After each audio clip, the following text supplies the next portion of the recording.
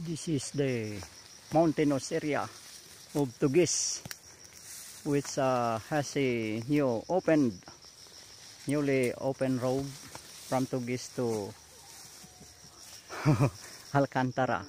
And we're here uh, we're uh, tracing the old paths which seemingly are not already being passed for uh, so many long period. And uh, it's uh, really really difficult you know to traverse this kind of uh, pathway or trail uh, which is in the mountain top of the Tugis um, mountainous area just uh, immediately above the what do we call that? Uh, training center or convention center. That's the uh, forest of uh, what do we call that? Uh, Amatong which uh, extends towards to the forest also of Barangay Patoo and Barangay Tuburan and that's the beautiful sun. Uh, which is uh, about to set in the western area that is the Luok area. That is the area of Ferrol. The area of uh, yes. And we're still finding our path. Yeah. it's uh, really really difficult and uh, oh come on. Is this the way we passed before? Or ah yeah. Yes. Oh, it's quite far yet. Oh come on. This is like this is how difficult uh, to walk in this uh, very uh, no grassy part of the mountain. It's uh, you cannot uh, sure of your safety because uh, a poisonous uh, venomous uh, snake. Might uh, suddenly appear. Barring your way. So careful careful. And that is the school of Pisay.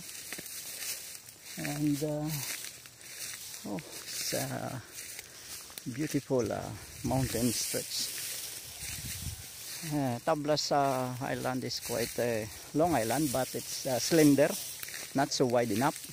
As you can see the the margins of that uh, mountain. Uh, mark. Oh. Okay okay okay. We've uh, been uh, laid astray sorry.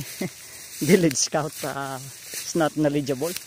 Maybe is uh, being uh, struck out already by the you know nature or being forgetful na for forgetful. Oh come on.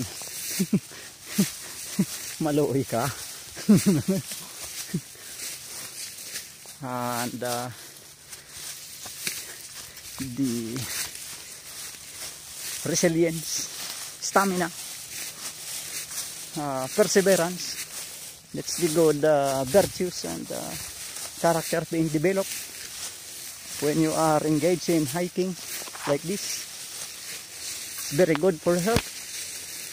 Same time it develop your uh, good attitude. Oh here we are yes. Mata na mga trada na yan wai Richard English gid ay abo Minsan kita Tagalog man. ah. kasi nga eh siyempre English teacher yun oh, yung barko paalis na oh from the pier Budyungan so there is a voyage going to Batangas the same Montenegro lines Okay. Uh, it's not yet uh, free. Oh, you can go to Manila via Batangas through uh, by uh, taking a voyage uh, uh, through Montenegro lines, but you return here, expect that you will be quarantined 14 days in a facility, uh, quarantine facility. 14 days in another quarantine facility or uh, home quarantine as the case may be. It depends upon the LGU uh, where you are uh, intended, where you intend to, you know, uh, stay at. That's it. Oh, this is the hiking, hiking, hiking, and uh, we'll go down. We'll go down.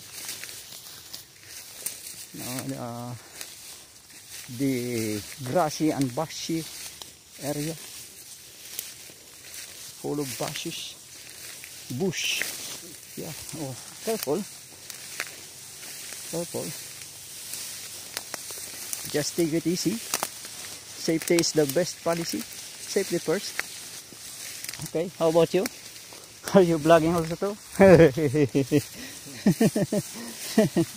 Huh? you're blogging our way?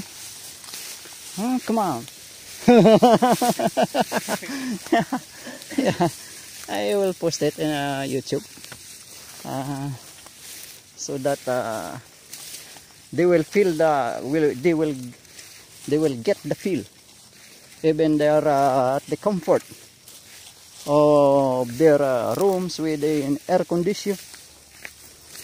And they have no time uh, to get outdoor like this like outdoor activity. Then uh, they will have an opportunity to grasp and uh, feel what it should be uh, what uh, should be the feelings when yeah uh, it's here. When uh, climbing uphill oh is, is it hill? It's already mountain. Hill is there. Yeah. Down there is hill but here where we are standing is actually a mountain.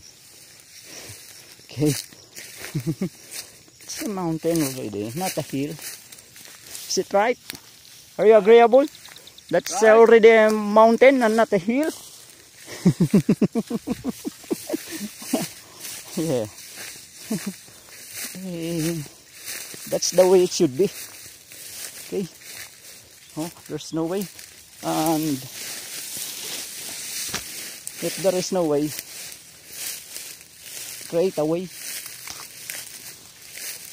okay.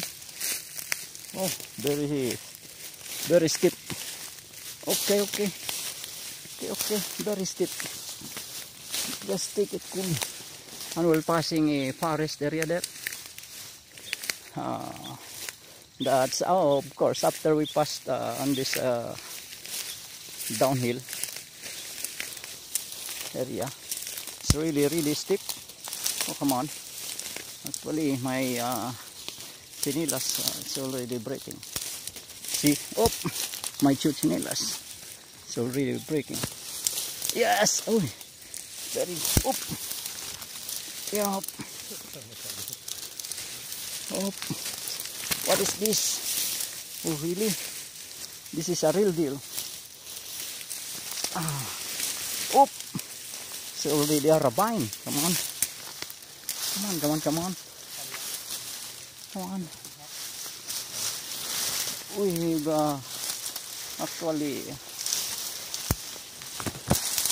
uh, got the wrong way. Anyway because we are a Rosalia where we develop the perseverance attitude. Will deal with will deal this uh, thing smoothly and here we go okay that's very step oh come on You ba make a detour, ah. oh. Yes. Yes.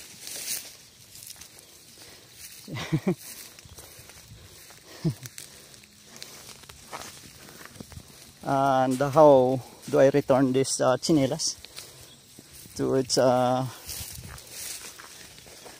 usual condition? Come on. Yes. Uh,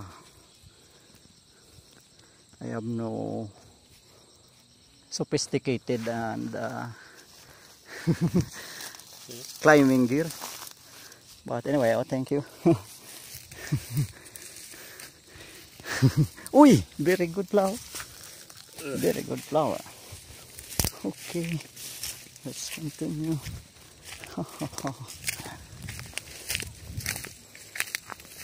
yes.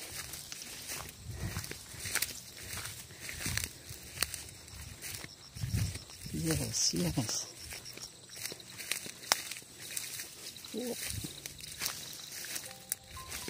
Yes. Here we are.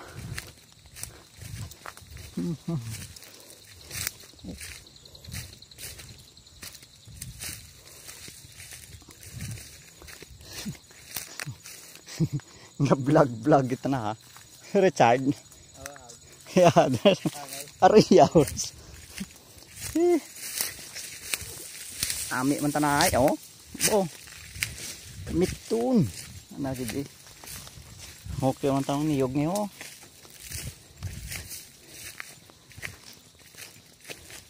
Yes, yes, yes.